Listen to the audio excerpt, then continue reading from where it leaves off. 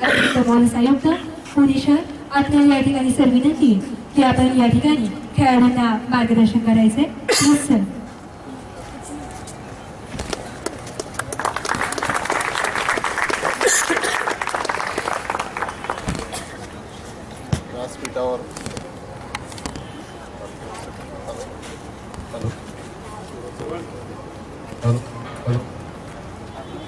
व्यासपीठावर उपस्थित. आदरणीय आर एस कुमारजी या खेळासाठी अत्यंत कष्ट घेतलेले. श्री नंदू रोकडेजी संग्राम सावंत इथे उपस्थित असलेले खेळाडूंचे पाल्य बंधू आणि भगिनी आणि बालमित्र प्रत्येक आईवडिलांची एक इच्छा असते माझ्या मुलाने भरपूर शिकलं पाहिजे मोठं व्हायला पाहिजे. दहावीमध्ये बारावीमध्ये शंभर टक्के मार्क मिळवायला पाहिजे. पण या ठिकाणी आपल्या या बालमित्रांना बघून खेळाडूंना बघून खरोखर अभिमान वाटतो. की हे जी सुरुवात झालेली आहे पिंपरी चिंचवडमधून एक चांगले उत्कृष्ट खेळाडू बनवण्याची हा चांगला उपक्रम आहे. लहानपणापासून हे बीज रोवण्याचं काम आपण करत आहात.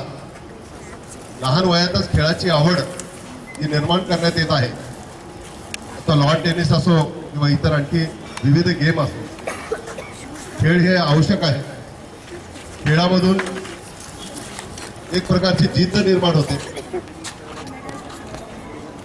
खेळामुळे मन आणि मनगट मजबूत होतं जी काळाची गरज आहे. आज भारतामध्ये आंतरराष्ट्रीय स्तरावर महिलांनीच आपली मान उंच ठेवली.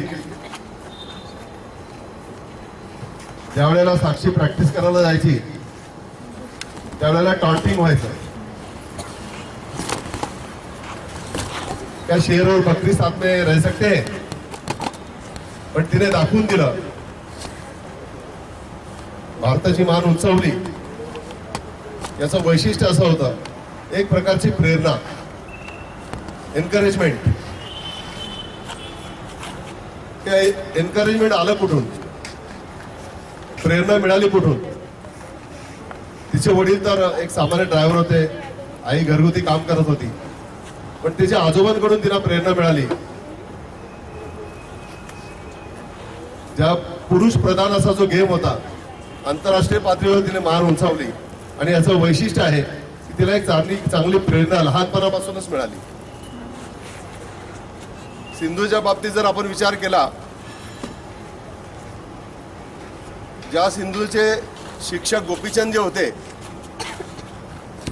या गोपीचंदवरून बरेच खेळाडू नाराज होते. कारण त्याची शिस्त फार कडक होती. सिंधूने त्यांचं नाव उंचावलं.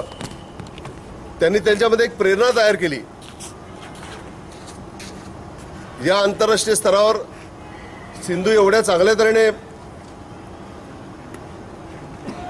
बक्षीस प्राप्त करेल याची कल्पना सुद्धा कोणामध्ये नव्हती. नेमकं काय केलं? सिंधू जर पहाटे चार वाजता प्रॅक्टिस करायला जात होती तर सर त्याच्या अगोदर तयार असायचे. आपल्या गुरुला आपल्या शिष्याबद्दल बरीच कल्प इच्छा असते की नाही आपलं नाव उंचावलं पाहिजे. गोपीचंदांचं नाव सिंधूच्या या या विजयानंतर अत्यंत भारतामध्येच नव्हे तर आंतरराष्ट्रीय स्तरावर गेलं.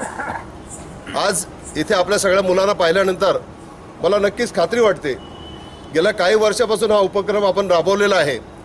एक ना एक दिवस याच पी सी एम सीमधून आंतरराष्ट्रीय स्तरापर्यंत आपला खेळाडू जाईल अशी अपेक्षा वाटते. पण त्याच्यासाठी गरज कशाची आहे? एक तर तुमच्यामध्ये गोल निर्माण केलेला आहे इच्छा निर्माण केलेली आहे. पण सराव हा दणकेबाज सराव व्हायला पाहिजे.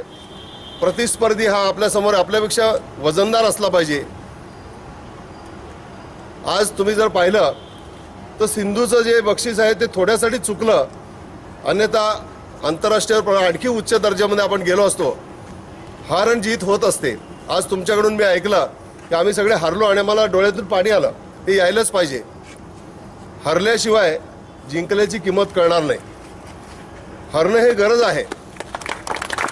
त्याच्यातून आपल्याला डावपेच कळतात आपण कशा तऱ्हेने पुढे जिंकू शकतो आपली तयारी होऊ शकते सराव होऊ शकतो. आणि ही सुरुवात आहे. सुरुवातीला जर सगळ्या चांगल्या चांगल्या गोष्टी मिळाल्या तर आपल्यातला जो प्रोत्साहन आहे ते निघून जाईल. मित्र हो. खरं पाहिलं तर सिंधू आणि साक्षीचं नाव पुढे घेतलं जातं. पण दीपा कर्माकरने जे कर्तृत्व करून दाखवलेलं आहे एक छोट्याशा गोष्टीनंतर जे पूर्णपणे ज्याला प्रथम बक्षीस मिळालं ते सुद्धा करू शकलेलं नाही. आपल्याकडे अत्यंत चांगले खेळाडू तयार करण्याचं काम आपण करत आहात. आपण हरलो की जिंकलो याला महत्त्व नाही. आपण कशा तऱ्हेने खेळलो हे फार महत्वाचं आहे. याची सुरुवात मी त्यांच्या आईवडिलांना फार महत्त्व देईन. त्यांचं अभिनंदन करेन की आपल्याकडून खरी प्रेरणा त्यांना मिळालेली आहे. नाहीतर तुम्ही विचार करा की पहिलवानाचा गेम आणि त्यामध्ये महिला प प्रथम येत आहेत तर याचं कुठेतरी प्रेरणा आपल्या घरातूनच त्यांना मिळालेली होती. घरा आपल्या पाल्यांनी त्यांना हे जे प्रोत्साहन दिलेलं आहे हे कौतुकास्पद आहे. आणि त्याच्याच बरोबर आज तुमचे गुरु या ठिकाणी इथं आहेत त्यांना एक इच्छा आहे की एक ना एक दिवस पुणे शहरामधून हे पिंपरी चिंचवड जे आहे ठिकाण यातून आम्ही एक चांगले खेळाडू तयार करू. खेळामुळे आपल्या मनामध्ये येणाऱ्या ज्या कल्पना आहेत त्याला एक चांगला वाव मिळतो.